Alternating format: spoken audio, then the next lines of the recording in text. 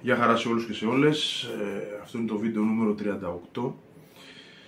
Με νοπές ακόμα τις, τις μνήμες από το παιχνίδι της Αμβέρσας και αυτό που η ΑΕΚ δεν κατάφερε τελικά να κάνει, να πάρει δηλαδή ένα αποτέλεσμα που θα της έδινε και το δικαιούτο βάσει της εικόνας της ε, περισσότερες πιθανότητες πρόκρισης από αυτές που έχει, οι οποίες δεν είναι λίγες φυσικά βάσει των όσων είδαμε στα, στο πρώτο παιχνίδι και τις εν γέννη ε, εικόνας της αλλά και της δυναμικής της.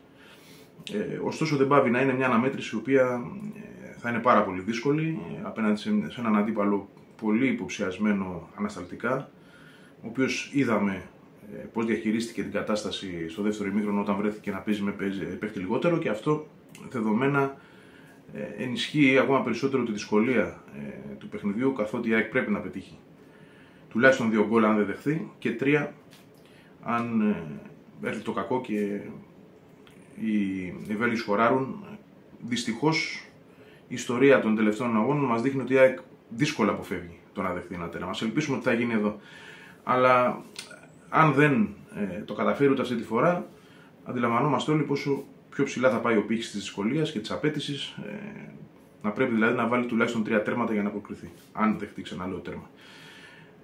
Γι' αυτό που σίγουρα θα πρέπει η ομάδα να είναι υποψιασμένη και προετοιμασμένη είναι το να αντιμετωπίσει αυτή τη φορά ένα πούλμαν σαν και αυτό που είδαμε στο δεύτερο ημίχρονο, το οποίο εξ ανάγκης ε, κατέφυγαν σε αυτό ε, ως τακτική οι, οι Βέλγοι. Ε, να το δούμε αυτή τη φορά από 11 παίχτε και όχι από 10. Το οποίο θα κάνει ακόμα πιο δύσκολη την ιστορία διότι είναι και γρήγορη ομάδα και στην κόντρα, ε, εμείς που δείχνουμε ότι είμαστε και κάπου ευάλωτοι σε αυτό το κομμάτι, ίσως βρουν ε, το χώρο για να, να χτυπήσουν εκεί. Σε κάθε περίπτωση αυτό το παιχνίδι θα είναι παιχνίδι μεγάλης υπομονής, προσήλωσης, ηρεμίας πάνω απ' όλα, ειδικά στην τελική προσπάθεια που ε, δυστυχώς η ομάδα εξακολουθεί να έχει αυτό το, δεν το έχω πρόβλημα γιατί δημιουργεί πάρα πολύ και αυτό είναι καλό, αλλά ε, παταλά πολλές φορές ε, ευκαιρίες για γκολ, ε, υπάρχει αυτή, αυτό το θέμα.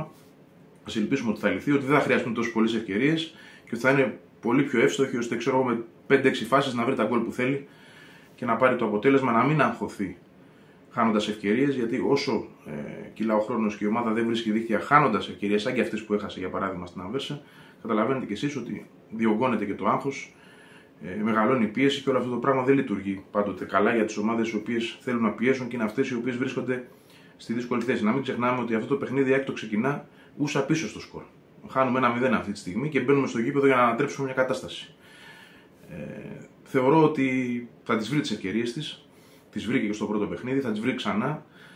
Ε, πολλά θα εξαρτηθούν από το να μην γίνουν λάθη και να μην υπάρχουν αδράνειες όπως για παράδειγμα αυτό το γκολ το οποίο δέχτηκε φθηνά για μένα παρότι ήταν ωραίος ο συνδυασμός και το πλασέ του Γιάνσεν. Αλλά η ΑΕΚ το έφαγε τον γκολ σε σετ παιχνίδι και αυτό λόγω αποστάσεων ε, και αδράνειας. Ε, αυτά απαγορεύονται να επαναληφθούν, το καταλαβαίνετε κι εσείς. Οι, οι Βέλγοι έχουν αυτή την ικανότητα να χτυπούν στον χώρο ή να τιμωρούν αδράνειες και έχουν και έναν φόρ μπροστά, ο οποίος ε, το έχει δείξει φέτος, το έχει δείξει και πέρσι, αλλά το δίνει και φέτος. Ε, διάστημα στο οποίο βρίσκεται σε πολύ μεγάλη φόρμα, έχει ήδη βάλει 5 γκολ ε, και έχει μεγάλη ευστοχία. Έτσι, είναι παίκτης ο οποίος στις δύο φάσεις το ένα θα το βάλει. Και αυτό είναι πρόβλημα.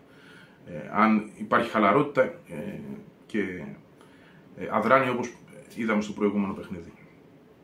Το ένα είναι αυτό, το ένα κομμάτι λοιπόν είναι αυτό, ότι η ΑΕΚ πρέπει να είναι προετοιμασμένη για να αντιμετωπίσει μια κατάσταση πούλμαν με 11, ε, ειδικά όσο θα κυλά ο χρόνος και αν το παιχνίδι είναι ισόπαλο, αυτό το πράγμα προφανώς είναι κάτι στο οποίο θα χτίσουν ε, οι Βέλγοι, ο Φανμπόμελ, ε, θα τους οδηγήσει σε αυτή την, την τακτική. Άλλωστε είναι ομάδα που πέρσι, σε, δεν θυμάμαι, 27 μάτς νομίζω δεν δέχτηκε γκολ στο πρωτάθλημα της χώρας. Αυτό είναι ένα δείγμα του πόσο καλά ξέρει να διαχειρίζεται τέτοιες καταστάσεις και πόσο καλά ξέρει να μείνεται ακόμα και όταν βρίσκεται σε πίεση.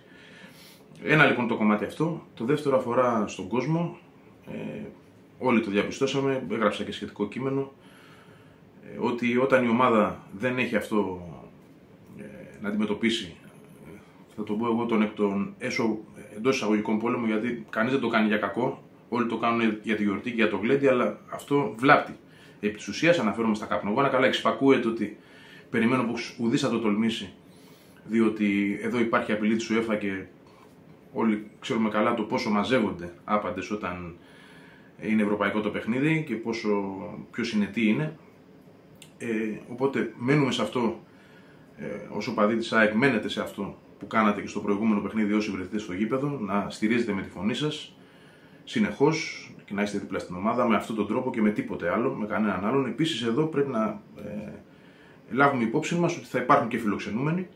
Έτσι, και εδώ ε, πρέπει να είμαστε όλοι κόσμοι και απέναντί τους, ε, να μην γίνει το παραμικρό και να δείξουμε ε, τη φιλοξενία που απαιτείται σε μια ευρωπαϊκή διοργάνωση. Ε, πάνω απ' όλα όμως είναι για την ομάδα.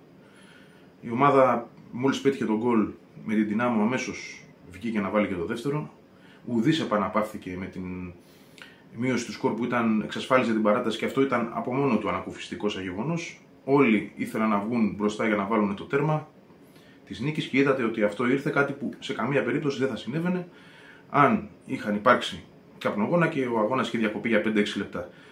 Ε, μην σας πω ότι αμέσως μετά θα το έλεγε και ο ίδιος ο διαιτητής, δεν θα δίνει δηλαδή και το χρόνο ε, μέσα από αυτή την κατάσταση για να μην τραβήξει μακριά και η ιστορία.